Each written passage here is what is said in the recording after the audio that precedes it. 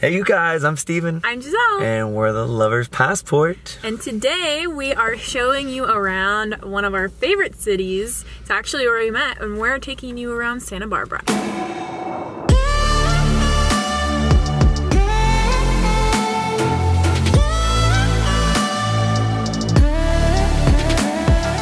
Yes, we met in Santa Barbara almost two years ago now. Yeah. Which is really exciting and she went actually graduated from UCSB and I moved up here for two and a half years. So today our goal is to show you guys how to do Santa Barbara like a local.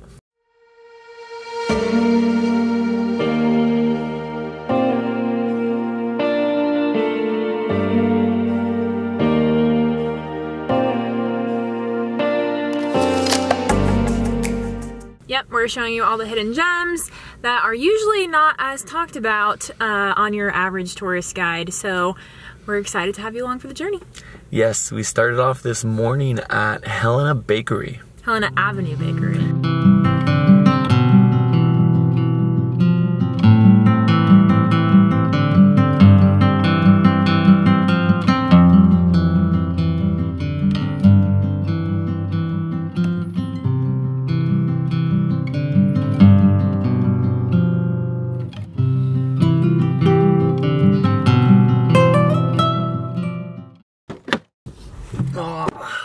Yes, it's one of our favorite spots. Uh, two things to get. You have to get their Elvis, Elvis bread. yeah. that Oh is my my, favorite. It's banana bread. They put some bacon on top with peanut butter, and I think it's honey on the very top. But Maybe oh, syrup, I don't know. It's so good. And then what I always get is the breakfast sandwich. It's like this brioche bun baked in butter with these the fluffiest eggs you will ever see, some bacon and like the, the cheese. Oh, it's like the best. They do the the simple breakfast sandwich in the best possible way. And their coffee is also really good. So highly recommend checking that out for breakfast. If you guys want any other breakfast recommendations, other places that we normally stop, go to Jeannine's Bakery. There's the shop kitchen. Handlebar. Go check out Handlebar. Fresh Cakes. That's actually where we had our first date together. If you like acai bowls, checking out Backyard Bowls. We are off to go check out State Street in downtown Santa Barbara now.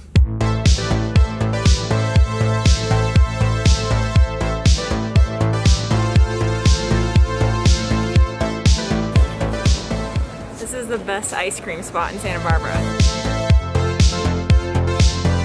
If you want a good Bloody Mary, go to Joe's.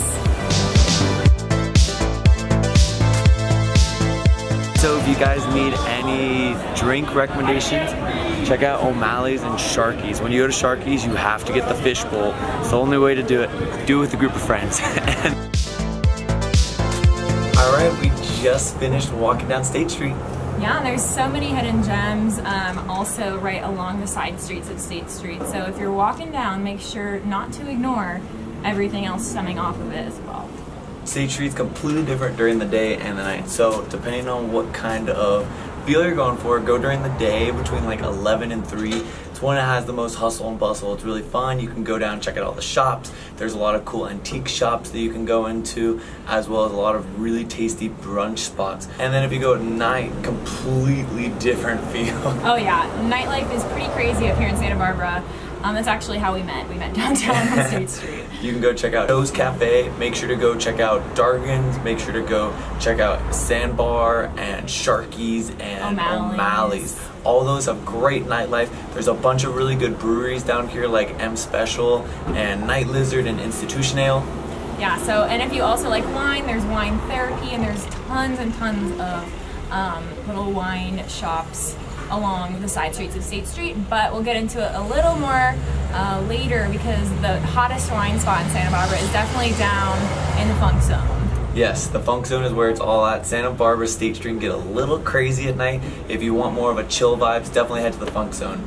And now we are off to the beach. We're gonna go show you our um, experiences at the wharf and the pier and probably go kayaking.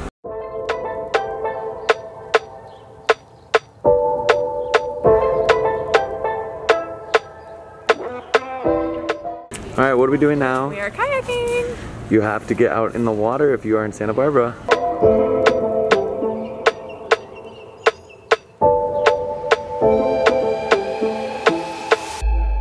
So the best way, in my humble opinion, to experience uh, the wharf in Santa Barbara is by going out on the water. We're out here kayaking with our friendly little seals over here.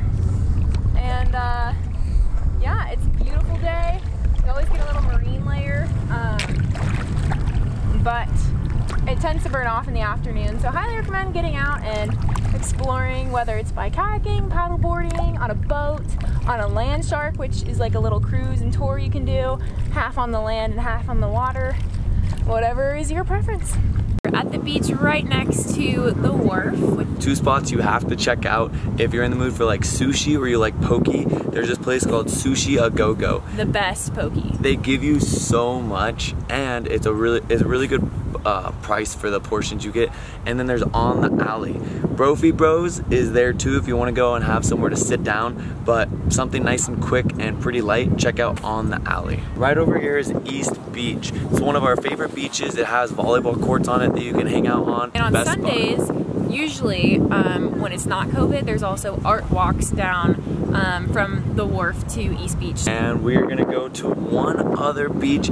You guys might know about it. It's definitely a local favorite. It's called Hendry's Beach. Also have Hendry's Boathouse there, which is a favorite restaurant of ours. I think they're doing to-go cocktails right now. So we're gonna try and see if we can get something. If not, we're gonna go take in the beach and all the doggies that are there. It's, an, it's a dog allowed park, so or beach, so we love going. Yes, here we go.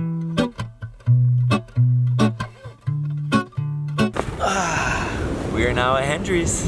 And we got some cocktails. These are the to-go cocktails. Their happy hour is Sunday to Thursday from 3 to 6. So if you guys are in the area, make sure to check that out. And they have a great happy hour selection. Yes, this is one of the local favorite beaches and it's great for dog lovers. Yes, if you're traveling with your dog, we highly recommend checking out this beach.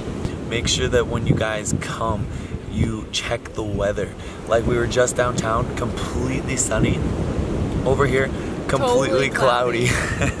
Which happens at Santa Barbara when you go Yep. across different coasts. especially during the summer months from about May, June, July, August, September. If you've ever heard of June May gloom, gray yeah, June May gloom. gray and June gloom. September, October, November are usually some of the best times to check out Santa Barbara. The nice thing about Santa Barbara is that it's like basically perfect weather year round. Mm. You get occasional rain in the winter, but still nice outside, I would say. And I mean, there's so many things to do here. If you haven't already checked out our hiking video for Santa Barbara, our guide to all of our favorite hikes and our favorite waterfall hike, make sure to check out the videos above.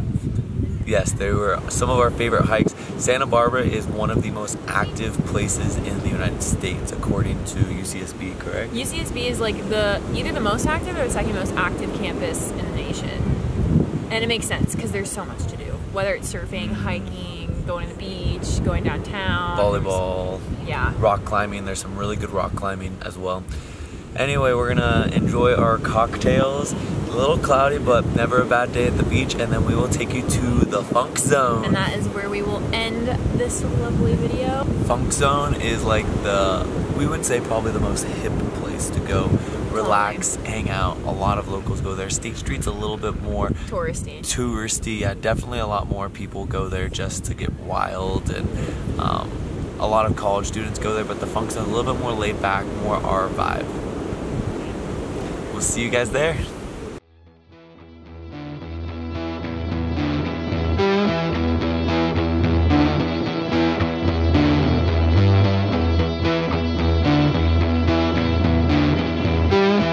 You'll like that. That's good. Oh boy, wine tasting is a must in Santa Barbara. Especially in the Funk Zone. You'll find so many good spots in the Funk Zone. This is Paradise Springs Winery. It's actually our first time here, but our friends who work down here recommended us and right away we already recommend it. So this is the best spot for anything like paella or tapas style meals. It is so good. So good. Definitely come here with the group though because it's a lot of food for a small group.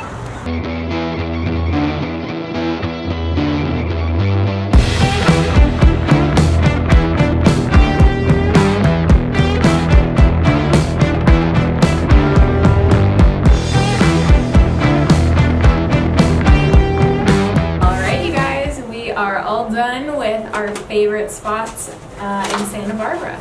We just showed you the Funk Zone. It, like I said, it's one of our favorite areas. During the day, during the night. Don't go in the morning, but The morning's it. Yeah, it's pretty dead. everything's closed. but highly, highly recommend coming and checking it out. Today we showed you Seven. It's one of the best places for nice food, bar food. Has some really good brews there Get too. Get their truffle fries. Oh, or So their garlic good. parmesan fries, man. We showed you Test Pilot, some of the best tiki bar cocktails you're gonna have. Really, really good. Right next door to Test Pilot, if you Paradise come during the day. Springs. Paradise Springs. We literally bought two bottles right now because they're too, they're too good. Uh, their two best ones that we had was their Sauvignon Blanc and their Rosé. Check out the Lark as well. Right next to the Lark, if you want a little bit more lower end, a little bit more budget, check out the Lucky Penny. For some great pizza. And right around the corner is Loquita for some great Spanish food. And tapas. Three of our favorite breweries, they're all in a row. You can check out Fig Mountain Brewery. You can come over here and check out Topa Topa. And lastly, finish off at Llama Dog. And bring your dog. or just stare at other people's because they're cute. yes. Anyway, thank you for watching our Santa Barbara like a local. Uh, don't forget to check out our best hikes and our favorite waterfall hike in Santa Barbara.